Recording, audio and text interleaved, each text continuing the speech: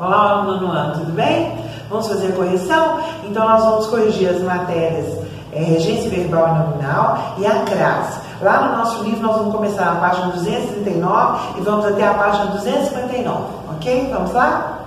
Temos aí uma tirinha onde aparecem dois personagens, um homem e uma mulher no barquinho no mar. Ele fala para ela: Estamos perdidos em meio ao Atlântico. Aí ela fala: Prefiro virar comida de tubarão a apodrecer neste barquinho com você. De repente aparecem uns tubarões, né? Aí em volta do barco. Aí ela fala: Em tese. Então, o primeiro quadrinho está mostrando duas personagens numa situação de risco. Olha a linguagem que eles estão usando. Então, a regência do verbo preferir está de acordo com a norma padrão? Sim, está de acordo. De que modo que esse verbo costuma ser normalmente empregado assim de, forma, de forma geral pela população, de uma maneira informal? Então, em situações aí normais de comunicação, as pessoas diriam assim no nosso país: prefiro virar comida de tubarão do que apodrecer. Isso aí informalmente. No primeiro quadrinho, uma das personagens diz: Estamos perdidos em meio ao Atlântico. Essa locução prepositiva em meio a Está de acordo com a norma padrão? Sim, está de acordo. Na letra B, como que ficaria a frase se em vez de o Atlântico tivéssemos assim as ondas? Então ficaria: estamos perdidos em meio às ondas, com acento indicador de crase. O registro linguístico usado pelas personagens em sua fala tende ao culto formal ou informal? Tende ao formal. Na letra D, esse registro é compatível com a situação que as personagens estão vivendo? Por quê?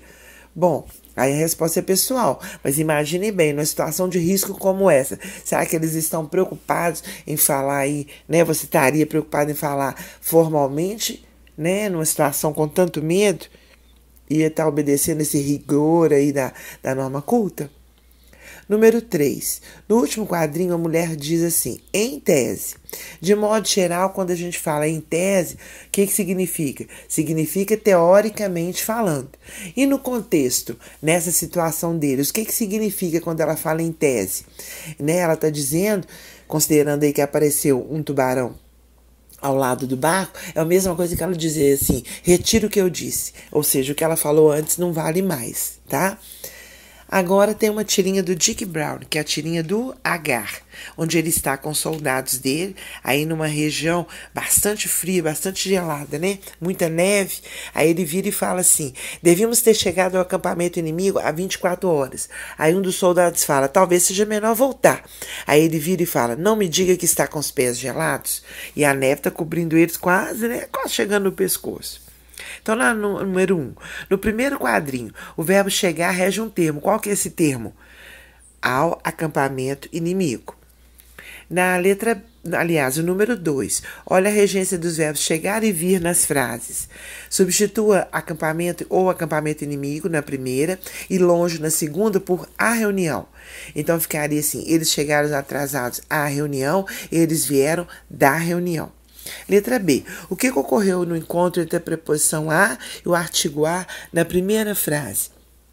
A preposição e o artigo se fundiram e aí deu origem ao a com crase.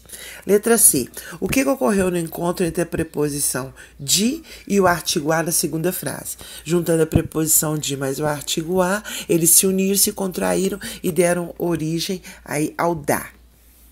Agora nós temos uma outra tirinha do Mort Walker, que é uma tirinha do, do Zero, né? Do Recruta Zero. Então, nós estamos vendo aí o, né, o capitão dele falando para ele e tem um quadradinho que é para você completar. Qual palavra completa, de acordo com a norma padrão, a frase do primeiro quadrinho da tira? É um A sozinho ou um A com crase? Então tá assim: se for a sorveteria, me traz uma casquinha. Aí ele, que sabor? Faça uma surpresa. Aí ele voltou, não tinha o sabor que eu pensei. Então ele não trouxe, né? Era para fazer uma surpresa. Então nós devemos colocar em um A com crase. Número 2. Em duas das frases abaixo, o acento indicador de crase está empregado em desacordo com a norma padrão. Quais são elas? Então, são aí da letra C e letra D.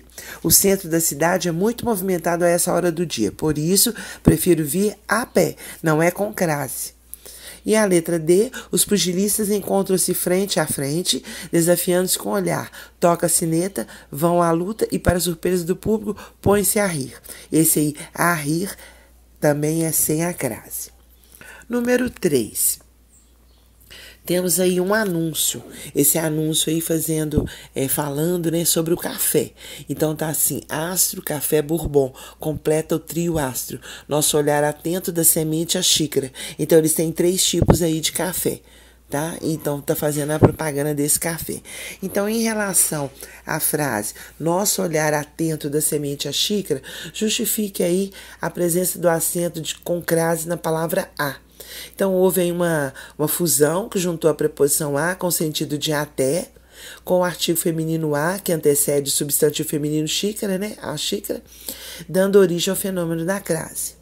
Que efeito de sentido o anunciante pretende produzir com a expressão da semente à xícara? Ele pretende dar a ideia de que o processo da produção do café é, é rigorosamente controlado desde a plantação até o momento que chega para o nosso consumo na nossa xícara. A número 4, o texto é o artigo da Declaração Universal dos Direitos dos Animais, proclamada pela Unesco em Bruxelas no dia 27 de janeiro de 1978. Lê o texto e depois indique o item que completa de acordo com a norma padrão. Então a resposta correta aí é a primeira, a letra A, onde vocês têm aí dois A sem crase, depois dois com crase e um sem crase. Então esse é o que completa corretamente o texto. Agora, para responder essas perguntas 1 e 2, nós temos aí um anúncio, tá?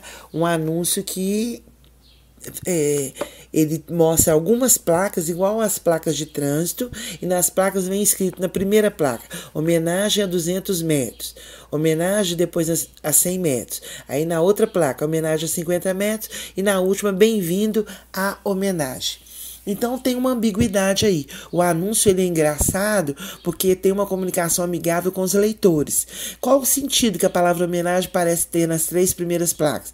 Quando a gente está viajando, quando a gente vê lá é, homenagem a tantos metros, tantos metros, dá a impressão que é a distância que falta a gente percorrer para chegar nessa cidade chamada homenagem né? A ideia que a gente tem.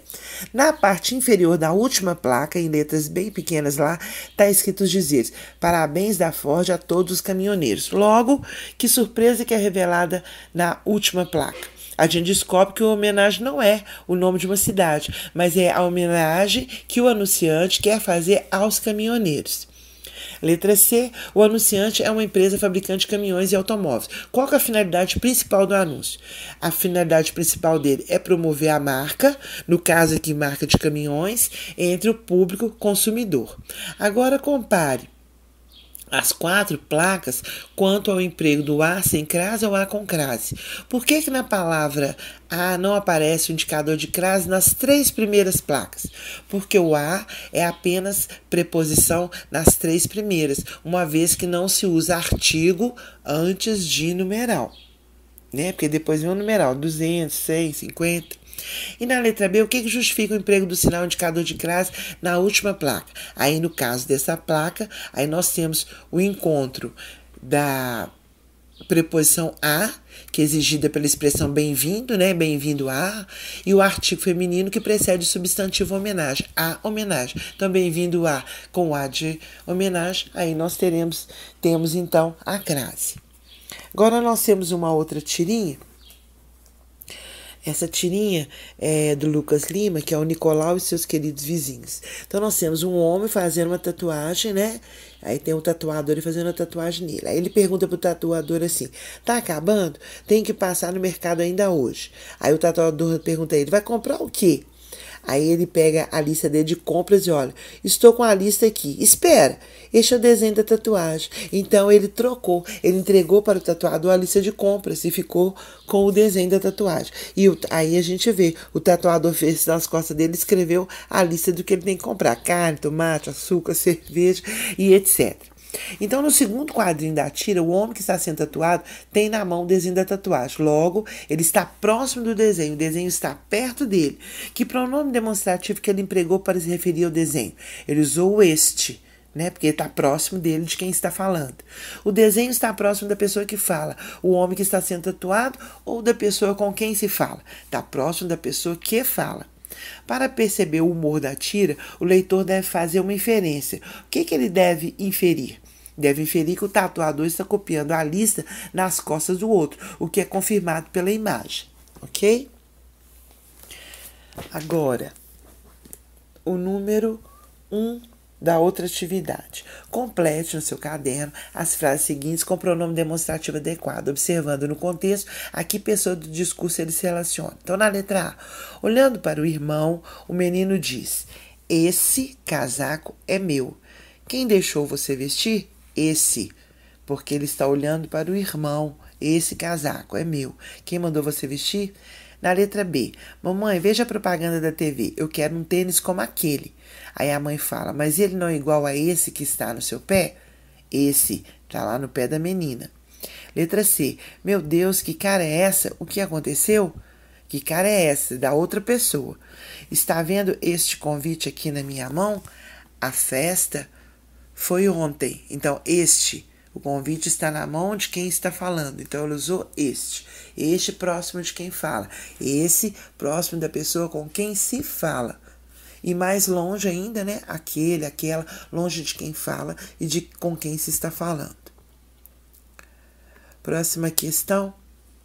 Justifica o emprego do pronome demonstrativo utilizado no segundo quadrinho da tira a seguir. Então, a tirinha, nós vemos aí o vampiro, né? Ele ele tá olhando a imagem dele no espelho, ele fala assim: a imagem do vampiro não ref... aliás, está escrito: a imagem do vampiro não reflete no espelho. Aí chega o outro e fala assim: então tenho que falar, essa roupa está ridícula. Ou seja, se ele não está se vendo no espelho, como é que ele vai saber como é que tá a roupa dele? Só um outro dando opinião, né? Então lá no segundo quadrinho, vamos explicar por que que ele fala é, então tem que falar essa roupa está ridícula. Na essa roupa é usada em referência à roupa que está vestida pela outra pessoa com quem ele está falando, ou seja, está próximo da segunda pessoa e não está próximo de quem está falando, mas de com quem você está falando, certo? É só, gente. Um abraço.